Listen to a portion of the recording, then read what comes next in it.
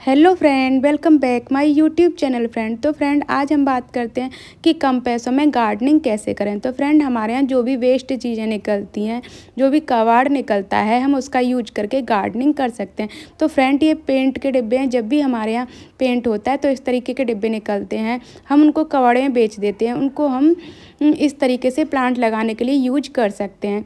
तो मैंने फ्रेंड, इसमें जेड प्लांट लगाया है, क्योंकि जेड प्लांट कटिंग से ग्रो हो जाता है। तो फ्रेंड, में प्लांट भी ऐसे चूज़ करने चाहिए जो कटिंग से ईजिली ग्रो हो जाते हैं, जिससे कि प्लांट में हमारा खर्चा ना हो।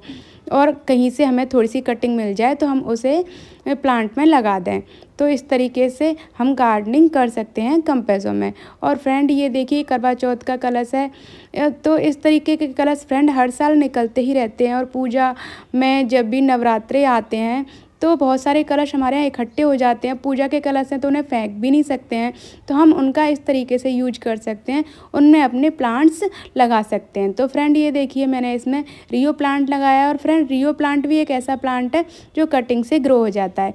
एक प्लांट कहीं से भी आप ले आइए तो इसके नीचे जड़ों में से रनर्स निकलते हैं, उनको निकाल कर हम दूसरे पॉट में लगा देते हैं तो ये ईजिली ग्रो हो जाता है और इनकी कोई ज़्यादा खास केयर भी नहीं होती है।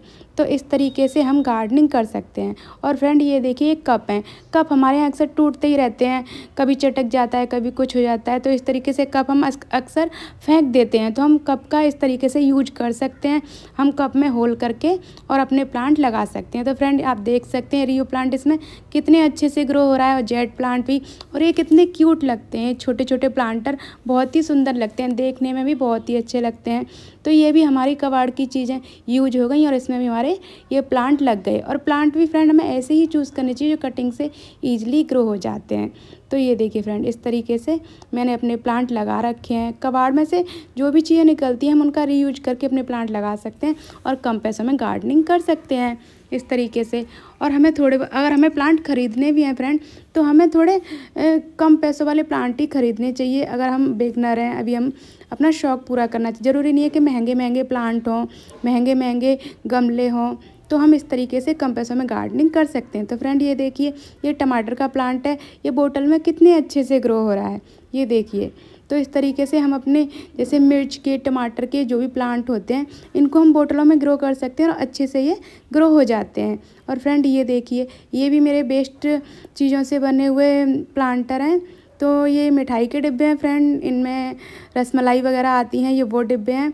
तो इनमें मैंने अपने विंटर प्लांट लगा रखे हैं।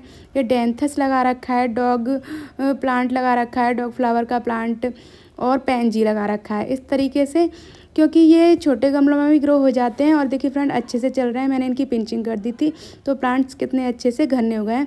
तो इस तरीके से भी हम गार्डनिंग कर सकते हैं कम पैसों में। और देखिए कितने ब्यूटीफुल लग रहे हैं। और फ्रेंड आपका ये अगर आप ऐसे ही डिब्बों में लगाना चाहते हैं तो लगा दें पेंट करना चाहते हैं तो पेंट भी कर सकते हैं। और फ्रेंड ये देखिए, ये टप हमारे यहाँ टूट गया था तो मैंने उसका भी यूज़ कर लिया। उसमें मैंने कलवंचों की बहुत सारी कटिंग लगा दी थी। ये देसी वाली वैरायटी है और इस पर देखिए फ्रेंड कलियाँ भी बनी हुई हैं। और ये भर गया है पूरा इससे तो अब इस पर फ्लावरिंग शुरू होने वाली है तो ये बहुत ही सुंदर लगेगा। और कलंचो भी फ्रेंड एक ऐसा प्लांट है जो कटिंग से ईजिली ग्रो हो जाता है, ये एक परमानेंट प्लांट है।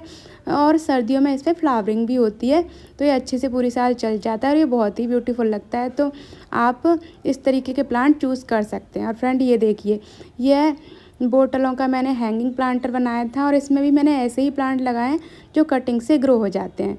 ताकि कम से कम हमारा प्लांट्स में खर्चा हो। हम कम से कम खर्चे में अपनी गार्डनिंग का शौक़ पूरा कर सकते हैं। फ्रेंड जिनके पास पैसे हैं, वो तो खरीद ही सकते हैं बट जिनके पास कम पैसे हैं और वो भी गार्डनिंग करना चाहते हैं तो इस तरीके से गार्डनिंग कर सकते हैं। और ये देखिए फ्रेंड ये वन रिंग जीव है। ये भी मैंने छोटी सी बोतल में लगाई थी और इसकी इतनी सी कटिंग लगाई थी मैंने और वो भी अच्छे से ग्रो हो गई है और अच्छे से ये चल रहा है। तो इस तरीके से आप भी बोतलों का यूज़ कर सकते हैं फ्रेंड और अपने प्लांट्स लगा सकते हैं। ये देखिए कलंचो लगाया है। तो इस तरीके से आप भी बोटल में प्लांट लगा सकते हैं। और ये देखिए फ्रेंड ये मेरे बेटे का हॉलिक्स का डिब्बा है। मैंने इसका भी यूज़ कर लिया है और इसमें मैंने ये विंटर प्लांट लगाया और इसमें देखिए फ्लावरिंग भी शुरू हो गई और कितना ब्यूटीफुल लग रहा है। फ्रेंड मैं कोई भी बेस्ट चीज़ हो तो उसको उस नज़र से देखती हूँ कि इसका मैं कैसे यूज़ कर सकूँ अपने प्लांट अपने प्लांट लगाने में। मैं कोई भी चीज़ फेंकती नहीं हूँ, अधिकतर तो मैं सारी चीज़ें यूज़ की, ये देखिए बाटर जगह जो ये टूट गया था तो उसमें मैंने ये टमाटो प्लांट लगा दिया है और इस पर टमाटो भी आ रहे हैं, अच्छे से चल रहा है। और ये देखिए फ्रेंड और भी बोटलें पड़ी थी जिनको काट के मैंने तैयार कर लिया है। मैं इनमें अपने और भी प्लांट लगा दूँगी। मैं पहले से ही रेडी करके रखती हूँ। ये देखिए सिंपल सा मैंने इस पर ड्राइंग कर दी है और ये कितने ब्यूटीफुल लग रहे हैं। तो इस तरीके से हम गार्डनिंग कर सकते हैं कम पैसों में। ये देखिए फ्रेंड अगर आपको गमले भी खरीदने हैं तो फ्रेंड ये देखिए मैंने दस दस रुपये के ये गमले खरीदे हैं, जो प्लास्टिक का सामान बेचने आते हैं उन पर ईजिली ये गमले मिल जाते हैं। तो आप इस तरीके के गमले खरीद सकते हैं। तो फ्रेंड आपको वीडियो थोड़ा सा भी अच्छा लगा हो तो लाइक एंड सब्सक्राइब करें। Bye bye friend